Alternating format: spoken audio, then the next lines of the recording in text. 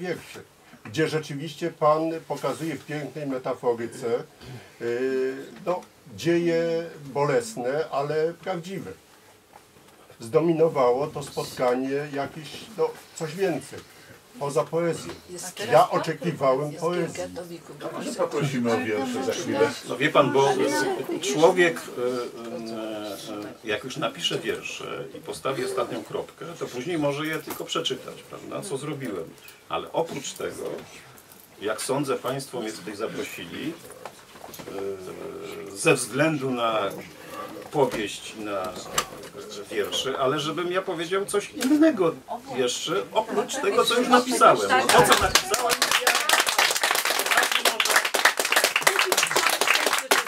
w księgarniach te książki są dostępne. Dobrze, prowadzimy dalej rozmowę. Pani Danuta, bardzo proszę. Proszę pana, jestem bardzo zaniepokojona. To będzie sprawa ukraińska. Literaturą ukraińską z, z jednej strony świetną. Chodzi mi o Jurija Andruchowicza i chodzi mi o Oksanę Zabuszko. To są dwie wielkie nagrody literackie miasta Wrocławia imienia Angelusa Silesiusa. Ja po prostu, ja się boję twórczości Andruchowicza.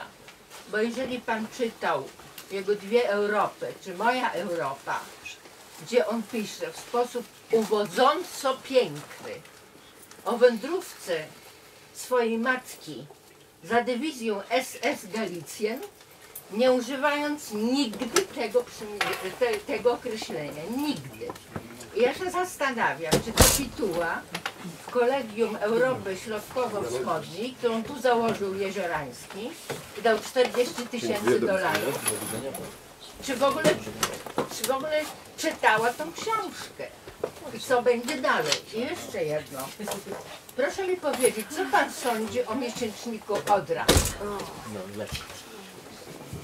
No nie, nie, nie zadowolę pani, dlatego że ja Odrę czytałem, ale już bardzo dawno temu. E, w, no, za PRL-u, prawdę mówiąc. Za PRL-u było, no później czasami kupowałem. Za PRL-u było tych czasopism bardzo mało. E, Pamiętam, że kupowałem Więź, Znak, Twórczość, Odrę. No dopóki była poezja ta jakaś nie, nie, nie pod Markiem Drozdowskim, to, to też kupowałem jako młody człowiek. A teraz, prawdę mówiąc, y, z czasopism literackich to mam styczność z y, kwartalnikiem literacko-artystycznym, który jest wy- wydawany w Bydgoszczy. Taki bydgosko-toruński kwartalnik. I z dwumiesięcznikiem Topos z Sopotu, redagowanym przez tam przez grono y, poetów. No nie, nie sposób jest y, wszystkiego śledzić, więc y, przykro mi, nie mam zdania o odrze dzisiejszej. Natomiast no, twórczości, twórczość Andruchowicza znam tylko poetycką i to chyba nie w całości. Nie zna pan eseju Natomiast jego, Okręt? niestety jego poza poetyckiej twórczości nie znam, więc tutaj nie mogę być dla Pani partnerem w rozmowie. Jezu, ja bardzo pana proszę, niech pan to przeczyta. Powiem dlaczego. W końcu Andruchowicz jest wykształconym stypendystą renomowanych uniwersytetów zagranicznych. To jest Harvard chyba i któryś z francuskich. Więc jeżeli on pisze o Lwowie, a ja się urodziłam we Lwowie i mówi, że miasto ma charakter śródziemnomorski, a z drugiej strony sponiewierał potwornie niektóre zabytki Lwowa, pisząc między innymi o kiczowatej, neogotyckiej świętej Elżbiecie. To jest jeden z najwybitniejszych zabytków e, neogotyku w Polsce. No ale to bym mu dar- darowała. Natomiast nie mogę mu darować uwodząco pięknego opisu Lwowa w Galicji. Ten Lwów był cudowny. Z okien brzmiała muzyka, klawesyn, Bach cudowny. To były wszystko tylko ukraińskie domy. Zawłaszczanie kultury polskiej, m, tego dziedzictwa kulturalnego, które tam zostało, jemu bardzo dzielnie sekunduje Stasiuk. No Stasiuk jest marnym pisarzem, on tam nie dorósł do Andruchowicza. Ale ja się tym niepokoi, że dwie duże nagrody literackie właściwie miasta Wrocławia, który jest no, no jakoś powiedzmy satysfakcjonuje nam w jakimś sensie utratę Lwowa, w tym sensie, że tutaj ta diaspora lwowska jest. To mnie to bardzo niepokoi, więc bardzo pana proszę, proszę to. Przyjmiemy Proszę Pani, instrukcję. my żyjemy w takim, w takim dziwnym czasie, w którym dziedzictwo kresów nadal jest bardzo żywe w kulturze. Bardzo. E, Nie tylko e, z, dlatego, że czytamy książki, które powstawały dawniej, które są związane e, swoją istotą z tamtymi terenami, prawda? Bo Wańkowicz w jakimś stopniu pewnie jest czytany, Józef Mackiewicz jest czytany, czy nasi romantycy. Tak. E, bo nasza literatura była bardzo przesunięta w, tamtą stro, w tamtą stronę i e, ona właśnie sprawia, że nie tylko te miliony ludzi, który, którzy się wywodzą z kresów e, szeroko rozumianych, prawda, od północy aż po południe, ich obecność w życiu polskim sprawia, że, że te tematy są żywe i jak, jakby nie odchodzą w przeszłość i to bardzo dobrze ponieważ y, jeśli one zostaną jako, jakoś odcięte i przestaniemy je rozumieć, czy przestaniemy rozumieć potrzebę ich istnienia, no to się strasznie okastrujemy, przepraszam za sformułowanie, no to staniemy się szalenie ubog, ubogim narodem. I wcale nie chodzi o to, że mamy zakładać ziomkostwa i, i nie, jakby rewindykować granice i tak dalej, bo nie jesteśmy narodem, który tak postępował, ani nie mamy zresztą takich możliwości. Ale y, czym innym zupełnie jest y, dziedzictwo. Dziedzictwo, tak jak mówiłem tutaj wielokrotnie, czyli pamięć, czyli to, co nas tworzy i y, buduje naszego ducha, jest decydujące o jakości naszego człowieczeństwa. Więc jeżeli utracimy, uronimy chociaż jakiś kawałeczek z tego kresowego dziedzictwa, to staniemy się e, na obraz i podobieństwa ludzi, którzy coś tam bełkoczą o jakiejś piastockiej tradycji, prawda, w naszej, w naszej polityce. Więc starajmy się to wszystko zachować, a to, że, że te narody no jakoś tak spychają tę polską obecność i nie lubią e, tej, tej naszej e, współobecności, prawda, czy na Wileńszczyźnie, na Litwie, prawda, czy na Ukrainie. No jakoś to musimy y, przyjąć i zrozumieć. No, ja mam nadzieję, że to, co się dzieje teraz, y, co, co, co Rosja robi z Ukrainą, spowoduje, że również elity ukraińskie i także elity kulturalne, pisarze, y, zmienią swój stosunek do polskości i do Polaków. No bo ta, ta żywiołowa niechęć do Polaków w dużej mierze była, jak sądzę, uwarunkowana takim e, młodopaństwowym, zbyt silnym patriotyzmem, prawda, żeby nie powiedzieć nacjonalizmem. No skoro Polacy tu wybudowali wszystkie kościoły, no to no, jakoś to nam nie odpowiada, prawda, bo my chcemy być wielcy. Myślą sobie Litwini i, i, i Ukraińcy. Zamiast się cieszyć z tego, że ktoś im te kościoły budował i oni je mają, prawda? I mają piękną, barokową archi- architekturę w, e, w Lwowie, czy w Wilnie Starszą jeszcze.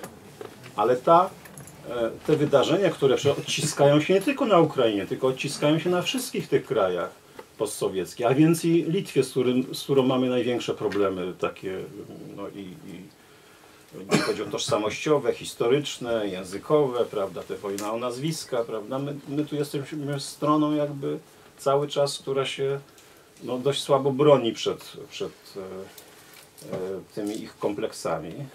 Więc sądzę, że to może się jakoś na nich pozytywnie odbić, także w tym względzie, że przecież oprócz ich własnych wewnętrznych problemów, konfliktów, różnych kompleksów, silnie Rosja wpływała na to, że ten kierunek taki antypolski tam był y, promowany, prawda? No, trudno sobie wyobrazić, żeby Rosja nie miała w tych krajach silnej agentury wpływu, także w kulturze, kiedy na Litwie ma oficjalną partię polityczną, która jest partią współrządzącą. I dopiero jak przyszedł ten kryzys, to prezydent Litwy oświadczył, że się nie spotkasz z przedstawicielami tej partii, mi- mimo że są członkiem koalicji rządowej, ponieważ jest to kwestia bezpieczeństwa państwa. Czyli no, ta prawda, e, że wróg nie jest po polskiej stronie, do nich w sposób brutalny dociera. I może e, otworzy nowy rozdział w stosunkach właśnie między tymi państwami, które albo były e, częścią Rzeczpospolitej Dwojga Narodów, jak Litwini, prawda? Czy też, e, no niestety nie doszło do utworzenia Rzeczpospolitej Trojga Narodów, chociaż niewiele brakowało. E, Ale i z Ukraińcami może te stosunki będą e, lepsze, będą zawierały więcej dobrej woli, nawet jeśli ta dobra wola będzie wymuszona przez siłę zewnętrzną. To mam nadzieję, że Polska na tym skorzysta. Pan Marek, tak? Y, Ja chciałem jedno, jedną część ad vocem, a drugą taką refleksję na temat tego wydarzenia, które mieliśmy. Y, Więc y, dlaczego ja powiedziałam o tym wesołym, wesołym baraku? Ponieważ tak się złożyło, że mam takie pewne bliskie kontakty z Węgrami i chciałbym tutaj uświadomić Państwu, że do 1989 roku na Węgrzech można było dostać 10 lat za ulotkę do 89. I y, po 56 roku Kadar y, zaproponował towarzyszom radzieckim y, pewien deal. On powiedział, że pozwólcie nam wyjeżdżać za granicę, a ja zapewnię, że Węgrzy przestaną zajmować się polityką. No i to realizował.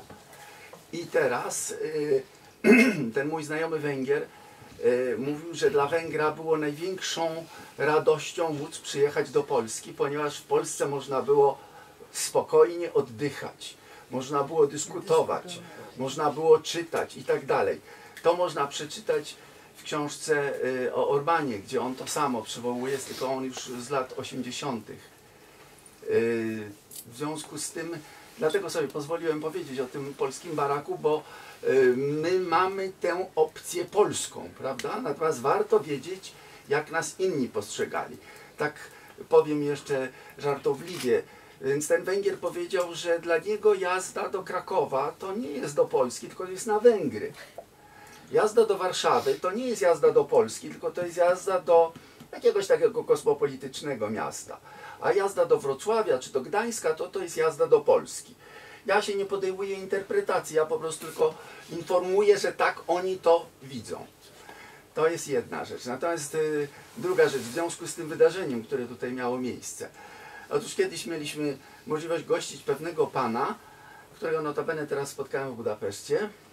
To jest jakiś y, członek jakiejś tam y, niedorżniętej elity węgierskiej, której tam wbrew pozorom jest bardzo dużo, bo jego przodek był ministrem spraw zagranicznych w rządzie y, Uhortiego.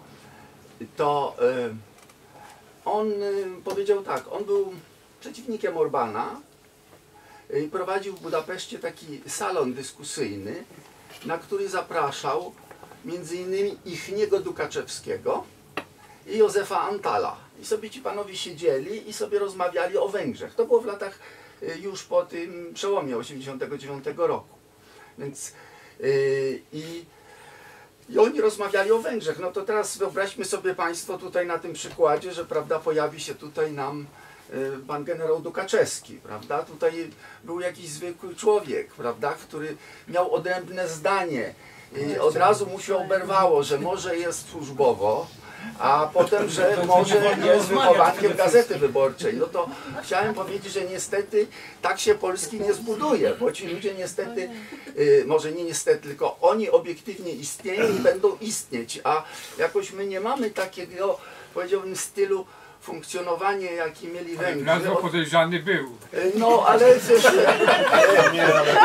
Ja się z panem zgadzam. No, on, nie, on nie był podejrzany, on miał inne poglądy, no co złego. Y, Ja tylko jeszcze, jeszcze powiem jedną rzecz.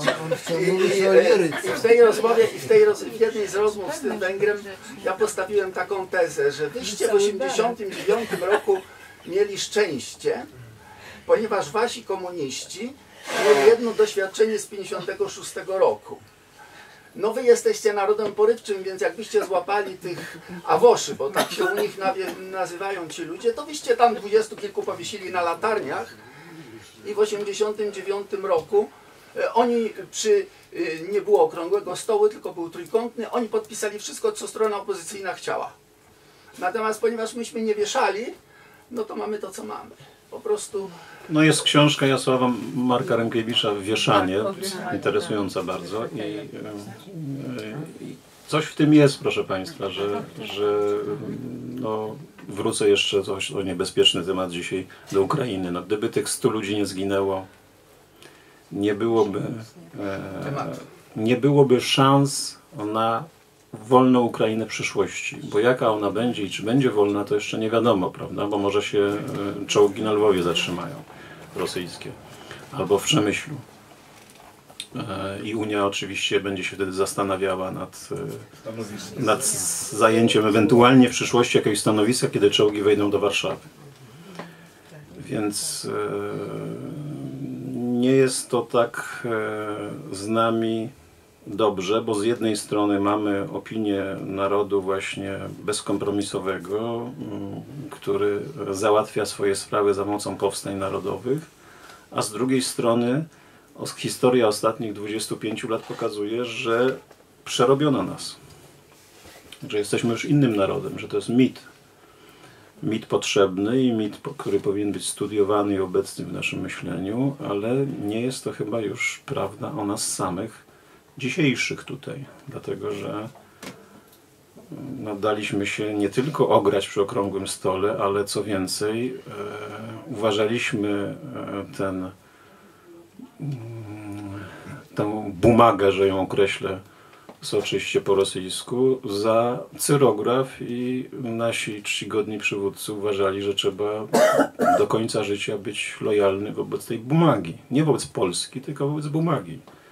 Dlatego Polska była ostatnim krajem, który, w którym były przeprowadzone wolne wybory, jak Państwo wiedzą, ostatnim z wszystkich krajów y, postsowieckich tutaj w części europejskiej, E, że premier Mazowiecki bronił cenzury, bronił obecności wojsk sowieckich w Polsce i tak dalej, prawda? A uważany był za reprezentanta narodu. Notabene to jest przecież nieprawda, że to był rząd niekomunistyczny, dlatego że tam jakby wszystko. Nie Kiszcza, proszę Pani. No, wicepre, wicepremier Balcerowicz, który trzymał finanse i gospodarkę, był ekspertem strony rządowej, nie solidarnościowej.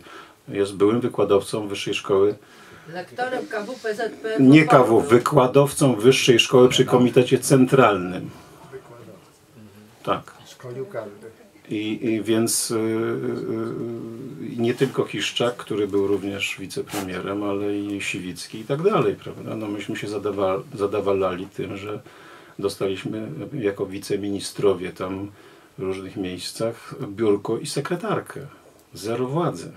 Y, To, to jest y, dosyć oczywiste, więc myślę, że myślenie o samych sobie jest myśleniem bolesnym i trudnym. Także z tego powodu, że e, człowiek ma skłonność myślenia o sobie jako kimś lepszym. Oczywiście, że to jest potrzebne. Czarnowictwo demobilizuje. No ale ja tu daję taki przykład. Kiedyś wspomniałem na tym, o tym w jednym z swoich felietonów, że nawet coś, co jest po naszej stronie tej takiej patriotycznej świętością, też powinno być e, rewidowane, ponieważ, no powiedzmy sobie szczerze, Sienkiewicz jest naszą świętością, tak? Jest jednym z wielkich e, użytkowników języka polskiego i, i wielkich e, e, opowiadaczy polskiej historii. Wszystko przeszło przez carską cenzurę, co napisał. I nie tylko to, co napisał, ale to, czego nie napisał. I zważcie to, że to, co nas tworzy, było programowane przez Moskwę. Także w tym szlachetnym nurcie.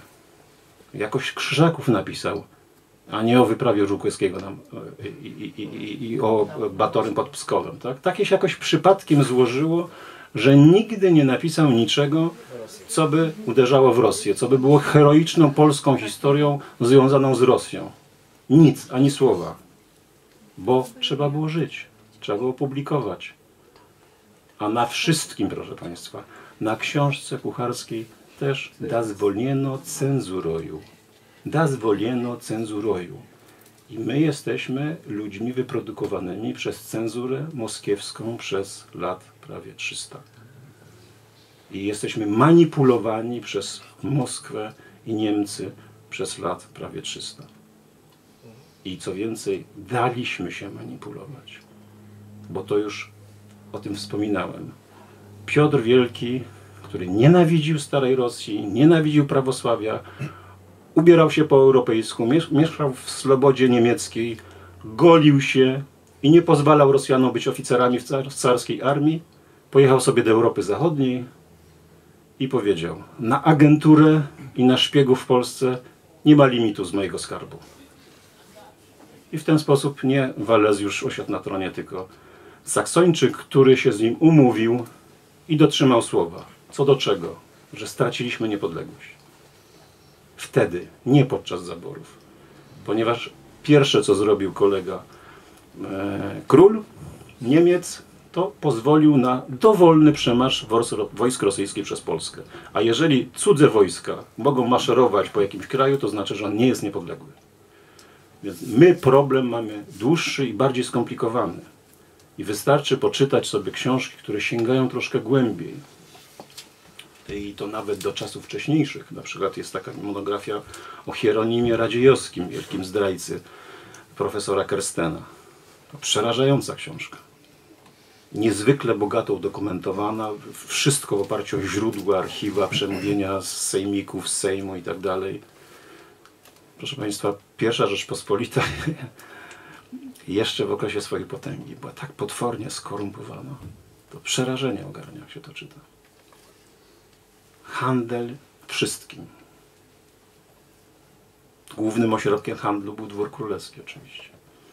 Także em, mamy taki kłopot, że z jednej strony musimy bronić jako kopów świętej Trójcy polskości jako takiej, bo ona jest zagrożona i mamy przeciwko sobie dwa potężne i nieżałujące pieniędzy na walkę z polskością kraje. Niemcy i Rosję. I to się nie zmieni nigdy. Ale musimy, proszę pani, y, nie, powiedziałbym. Nie. Ja pani powiem, że wprawdzie, wprawdzie y, w tej chwili Putin pokazał, że normalna, konwencjonalna e, wojna za pomocą czołgów też jest do użycia, co wszyscy eksperci na całym świecie twierdzili, że to niemożliwe, zwłaszcza w Europie. Ale proszę pani, jeżeli we Wrocławiu e, ma się zmienić nazwa ulicy Ofiar Oświęcimia na Junkrów Pruskich, to wydaje mi się, że to ma poważne znaczenie i symboliczne. A co, nie ma tak być? Nie, pańska ma się nazywać podobno. Pańska? Ja Pańska. byłem we Wrocławiu parę miesięcy temu, ktoś mi mówił, że jest koncepcja, że Junkrów Ona była. Junkrów kiedyś. Tak. Dlatego na pańską chcą ją zmienić. No, no to znaczy, że jeszcze się bronicie. Może pańska była Jeszcze się bronicie. Ale jeżeli e, e, Niemcy, jeżeli Niemcy projektują swoją własną państwową politykę gospodarczą, uwzględniając Polskę do Wisły, no to coś znaczy, prawda? E, My wielu rzeczy nie wiemy. Jacyś, jacyś biedni rodzice protestują, to się dowiadujemy, że, że Niemcy mają pół miliona kilometrów kwadratowych kupionych, prawda? Państwo polskie nie istnieje. Państwo polskie udaje, że nie wie, że pół miliona kilometrów Niemcy kupili. Nielegalnie, ponieważ na osoby podstawione, bo legalnie nie mogą. Czy kontrwywiad w Polsce istnieje, czy nie? Podobno istnieje, ale chyba wyłącznie, żeby osłaniać takie deale. Jeśli można jeszcze. Hektarów, hektarów. Hektarów, tak, tak, będziemy się hektarów, przepraszam. Przepraszam, może jakieś wyjście z tej sytuacji, jeśli można. Y, Jeden z poetów napisał, nie opuści cię polski żołnierzu, tylko poezja polska. Y, I w tych warunkach wydaje mi się, że kto wie, czy jednak jakiś ratunek nie jest y, w poezji lingwistycznej. Chciałam przypomnieć Stanisława Barańczaka. Oczywiście, że, że ma lepsze i gorsze momenty i, i, i to już mniejsza o to, gdzie w tej chwili jest i, i, i, i, i czy do końca świadomie, y, ale przecież ta poezja lingwistyczna po pierwsze obnażała zakłamany język propagandy, stawiała język w stan podejrzenia. Y, Mojemu pokoleniu bardzo ten Barańczak y, służył, myśmy się o niego wykłócali z wykładowcami. Natomiast jeszcze jeśli chodzi o tę poezję lingwistyczną, trzeba powiedzieć, że Służba Bezpieczeństwa ją doceniła, bo robiła wszystko, żeby wyrzucić Karpowicza z Odry, z Wrocławia, ja- jak najbardziej zmarginalizować, także, także jego uczniów. Więc wydawało się, że tamta strona jednak doceniała takie niezrozumiałe wiersze, które ciągle czekają na odczytanie, bo tam być może jednak ten, ten polski los jest też ukryty, tylko w jakichś tajemniczych matematycznych formułach. Y, Czy nie wydaje się panu, że właśnie poezja może ocalać polskość w tych warunkach, kiedy fizycznie nikt nas nie Proszę ocali? pani, e, proszę pani, e, to, że Karpowicz był represjonowany, to akurat mnie nie dziwi. Widać, był niezależnym człowiekiem, a Służba Bez, Bezpieczeństwa e, uważała każdego, który w jakikolwiek sposób e, ukazywał niezależność za wroga, więc e, jak, nie sądzę, żeby jego lingwistyczna poezja była przyczyną, tylko tym, że był człowiekiem, który nie był e, na gwizdek, na telefon, był niekontrolowalny, prawda? Zygmunt Kubiak, o którym tu już wspomniałem, który był filologiem klasycznym, tłumaczył Eneidę, wyznania świętego Augustyna, był pod nieprzerwaną kontrolą służby bezpieczeństwa. Telefon na podsłuchu, mieszkanie na podsłuchu, e, tak, opiekunka do córek, e, współpracownica służby bezpieczeństwa, przyjaciel najbliższy Henryk Krzeczkowski, 25-letni donosiciel do służby bezpieczeństwa. On był filologiem klasycznym, tłumaczył z greki i z łaciny. Nie zajmował się e, so- Sowietami, prawda, ani nie budowaniem bomb. To był taki system. Jeśli chodzi o, ten, o, o, o to wspomnienie e, poezji Barańczaka, e, powiem tak, że e, Krynicki, jego taki no, bliski w sensie poetyckim także, bliski mu człowiek, napisał kiedyś, że myślałem, że dramat języka jest ważniejszy od dramatu człowieka, ale się pomyliłem. Bo Krynicki był lingwistą stuprocentowym, prawda? I stało się coś innego, proszę Pani. Otóż Barańczak i e, w większym stopniu Krynicki, który jest większym poetą niż Barańczak, wydaje mi się, jest bardziej poetą z Bożej łaski.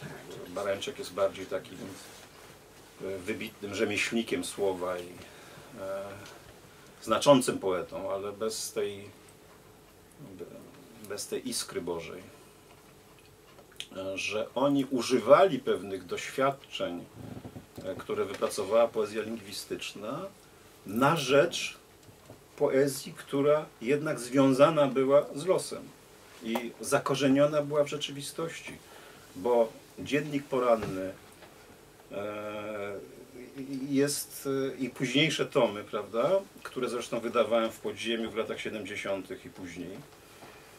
Ja wiem, że to niesłuszne.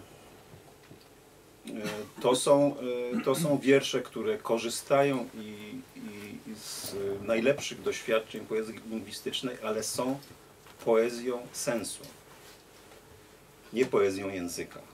To przejście Barańczaka i Krynickiego, jeszcze mocniejsze Krynickiego, prawda? Bo jego wiersze ze stanu wojennego są już takimi okrzykami właściwie, krótkimi hasłami, nawet zarzucano mu zby- zbytnią dosłowność i odejście od metafory i tak dalej. Ale e, no taka była ewolucja tych poetów i, o, e, i ta ewolucja w moim przekonaniu jest niezwykle charakterystyczna, że w totalitarnym państwie zamknięcie się w problematyce języka było eskapizmem jednak. Jak, nawet jeśli, jeśli e, ta wierność językowa była autentyczna i nie była manipulowana. Że to jednak była postawa, która no, była rodzajem jednak ucieczki od e, rzeczywistości, prawda? I uczniowie Tymoteusza Karp- Kar- Karpowicza, ci najwybitniejsi, prawda, jak Barańczak, czy może nie uczniowie, ale ci, którzy korzystali jakby z jego doświadczeń, uważali go za wielkiego poetę. Ci, którzy jakby zostają w poezji i, i ich droga poetycka była ważąca, znacząca dla, dla czytelników, dla literatury polskiej, odchodzili od lingwizmu.